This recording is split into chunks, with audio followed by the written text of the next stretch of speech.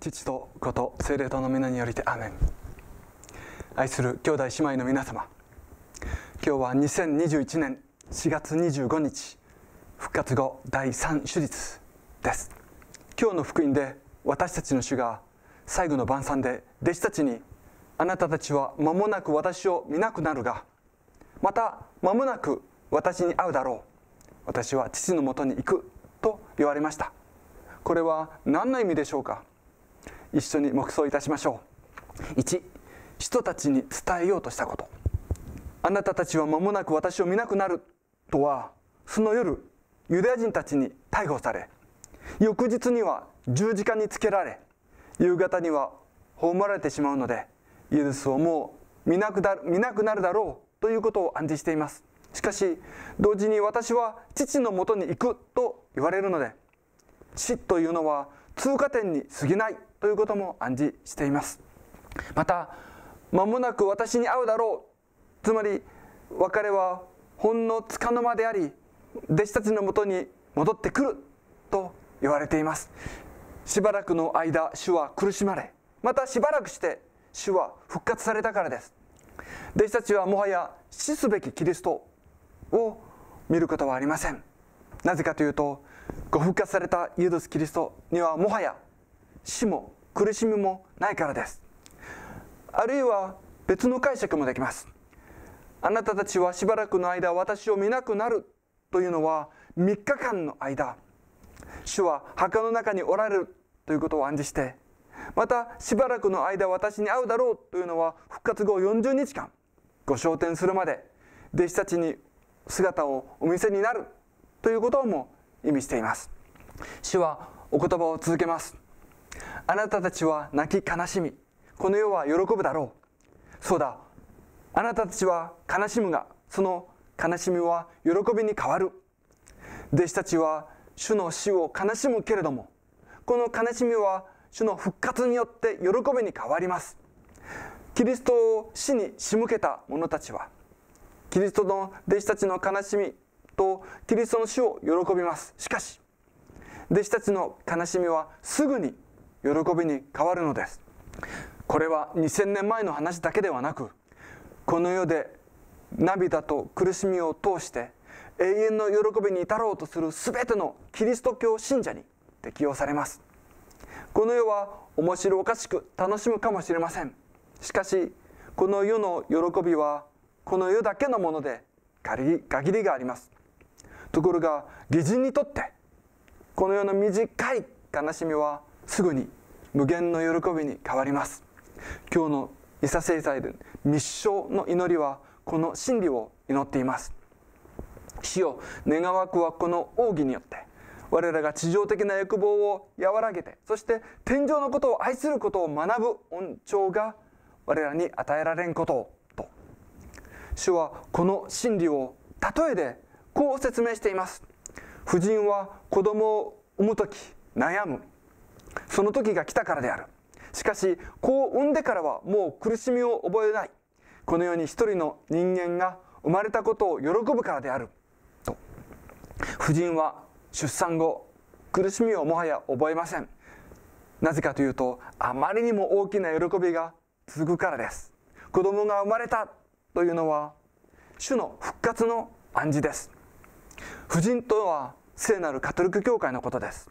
教会は誘惑や苦しみの中で発展しつつ苦悩します。しかし信徒が永遠の命に生まれる時教会は喜びに満たされます。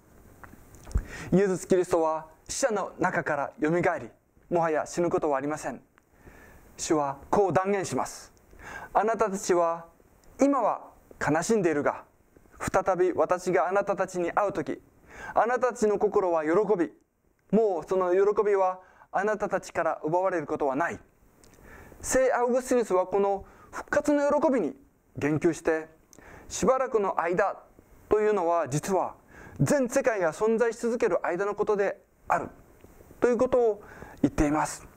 しばらくの間つまり世の終わりまであなたたちは私を見ないだろう。なぜなら私は父のもとに行くからである。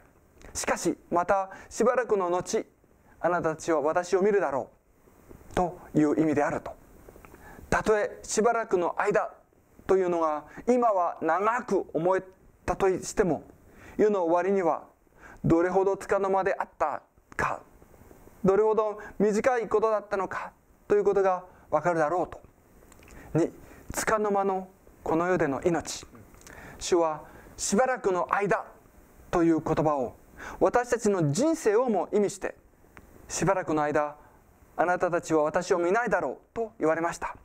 聖ヤコボも同じことを言います。引用します。あなたたちの命とは何か。あなたたちはしばらく現れてまた瞬く間に消えてゆく湯気のようである。引用あります。たとえ今の束の間の命であってもよく使うことによって永遠の報いを勝ち取ることができるようになります。聖パウロはこう言っています。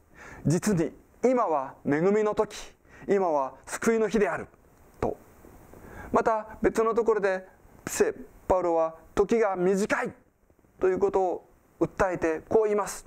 時は縮まった。だから以後泣く人は泣いていないかのように。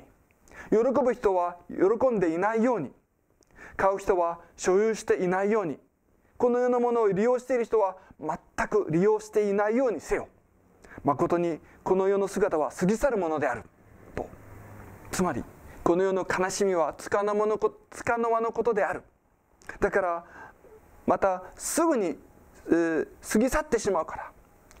泣く人は泣いてはならない。この世の楽しみや喜びも非常につかの間のことであるから。すぐ終わりが来るので。この世の喜びに愛着してはならない。この世はあっという間に過ぎ去るのでこの世を利用する時はそれを楽しむためではなくて永遠の命のために功徳を積むために使えと教えています。よく私たちは時は金なりと言いますけどしかし本当は時は永遠のためなりと言わなければなりません。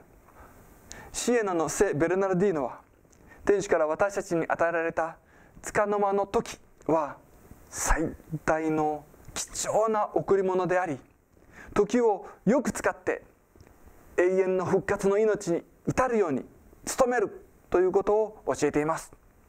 束の間とは最高の善である天使を所有させて全ての罪を許し天使の成長永遠の栄光を得させることができるからです。ラテン語でこう言っています。モディコテンポレポテスオモルクラリグラティアムエグロリアム少しのまで人間は成長と栄光を勝ち取ることができる。と。同じシエナの聖ベルナルディーノは時ほど貴重なものは何もないがこれほど人々から貴重でないと考えられているものもない。と言っています。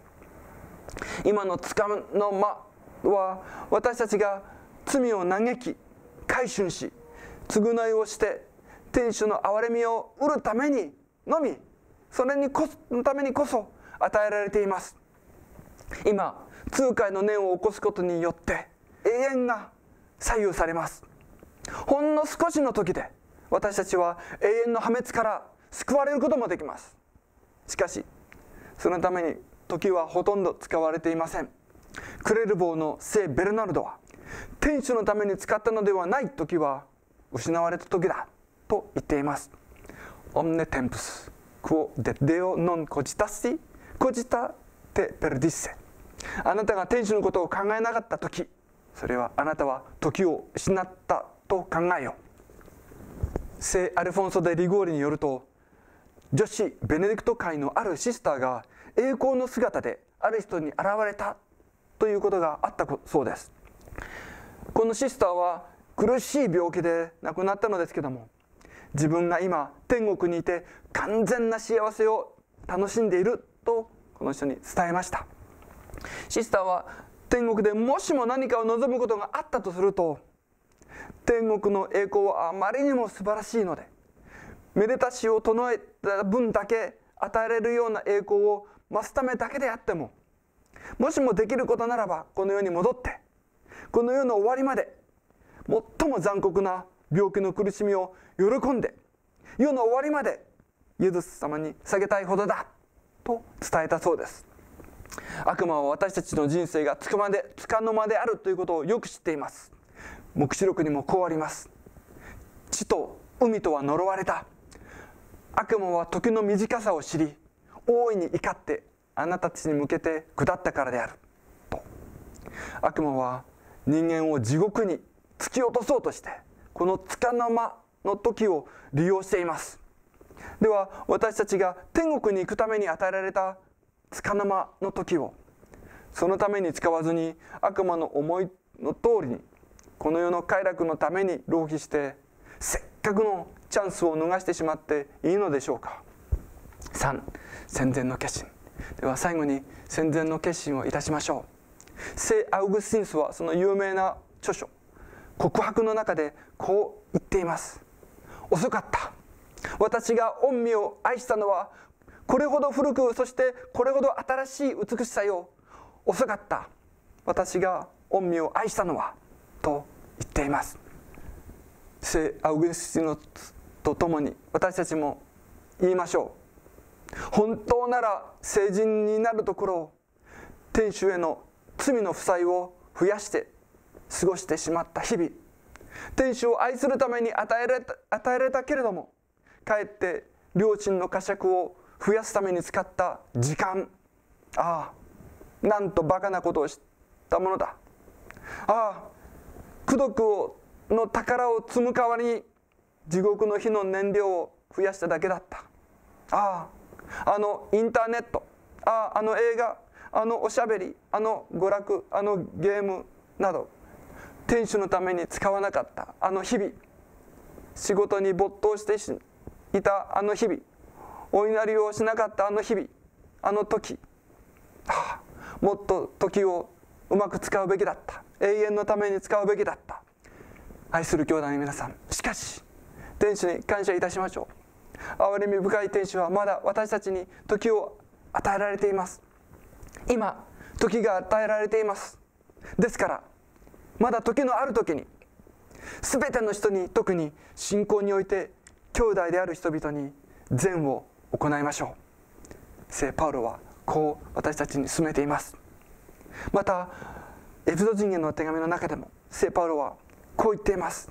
今の時をよく利用せよとイエス様は私たちにこうも教えています。エンマウスの弟子たちに言った言葉を思い出しましょう。キリストは苦しみを受けて死者のうちからよみがえりそのようにしてご自分の栄光に入るべきであった。それは私たちにおいてもう全く同じことが言えます。今の時をよく使って。そして栄光に入るべきであると。最後にマリア様にお祈りいたしましょう。